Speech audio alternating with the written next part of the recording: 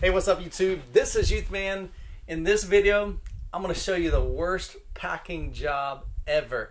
I just received these two packages uh, from a seller and we're gonna get these opened up and we're just gonna pray that they're not damaged. So before we get into the video, if you're into home theater, audio and video, hit that subscribe button and don't forget to hit that bell notification so that you'll be notified when the next video drops.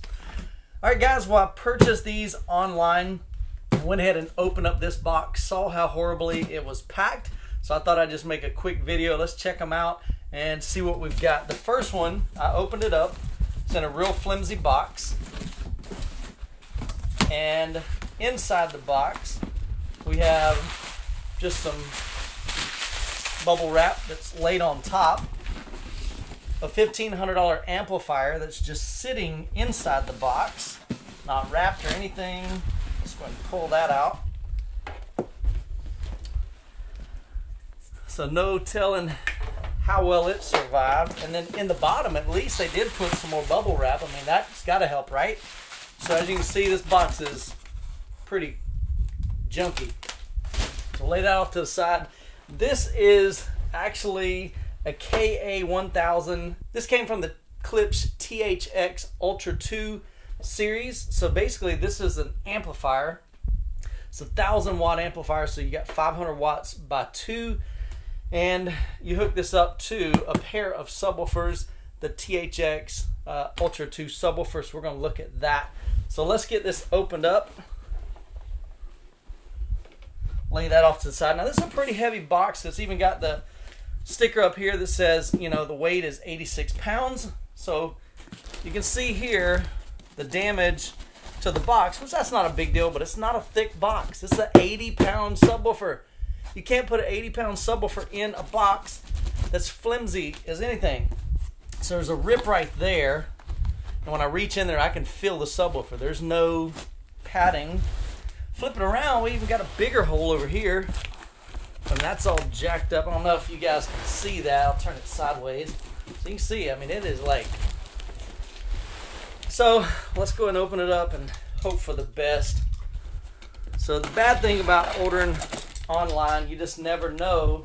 And you always run a risk when you ship any kind of speaker, any kind of amplifier, things like that. But typically, um, you know, sellers are pretty good about, well, I say that. Okay, so looking at the top, I'll just lean this over a little bit. You can see, all right, we got padding, right? That's a good thing, cool. Oh, it's just kind of laying on there. Apparently the subwoofer is upside down, so guess that'll make it easy. We're gonna lay it down to it. Let's lay it down on its side. Okay, actually it's totally flat back there. I didn't I didn't know if it had any controls on it. I guess not because it's a passive subwoofer. So let's go ahead and lay it down. I'll it up. Like that. And let's just take a look at this incredible packing job that this guy did. Nice. That is literally the worst packing job I've ever seen in my life. Ay, ay, ay. I mean, seriously, that's a lot of bubble wrap. But not one piece was. So you can see here, some pieces of the subwoofer actually got dinged up. We can look. Now in the pictures that was sent to me, I did know about this piece here. But back here, it looks like the speaker actually got dropped on a corner. And that's why it's important to protect corners when you ship product. So, I mean, overall, I mean, that's not going to affect the sound quality. It's in the back, so it's not that big of a deal. But you can definitely see how it was damaged during shipping. So I may check with the seller. Yeah, I mean it's definitely got some scuffs and scrapes, which I knew that going into it. Um, you can see, looks like right over here. Yeah, that I don't know. It's hard to tell. But anyway, let's take a look at this. So this is the KW120 THX. Let's take the grill off here. Okay. So the front looks really nice, man. This is like a metallic um, face here. Cabinet's just made out of wood. Driver looks solid, so um, I'm gonna get it hooked up, check it out, see what it's like. I've never actually heard. Well, actually, I've heard it one other time.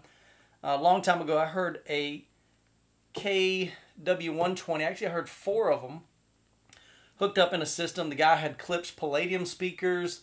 Um, he had a Belle center channel, and I mean, just some really, really nice high-end gear. He had Krell amplifiers, powering everything. So, um, sounded really good. These things slam like crazy. So I was just curious. I had a chance to pick one up, so figured I'd try it out here in the home theater. Not sure it's going to do much when I've got 15-inch drivers, um, you know, dual uh, SVS PB16 Ultras. I don't think this is going to compare. Um, but again, I may be able to use it as a, uh, what they call a near field subwoofer. So this will be something that you put kind of close to you just to add some more tactile bass. Um, it may be something that I just play with for a little bit and um, end up finding a new home for it. So anyway, guys, um, just wanted to kind of document um, how crappy of a job this unpacking or packing was. So like I said, we'll get it fired up, connected. Um, see how she sounds. But there's the amplifier that goes with it. So this is a passive subwoofer. And then this is an active. So it actually has a left and a right. So you could hook up two subwoofers to it. Of course, there's only one, one cable? Probably one cable. Um, if you bought another subwoofer, it'd come with another cable. So you can actually use this one amp to power dual subwoofers in the THX Ultra 2 series. So anyway, guys, that's going to wrap up this video. Hope you enjoyed it. If you did, smash that like button. If you're new to the channel, subscribe. I produce weekly videos on home theater audio and video. And as always, you guys be blessed, and we'll catch you in the next video. Oh my gosh.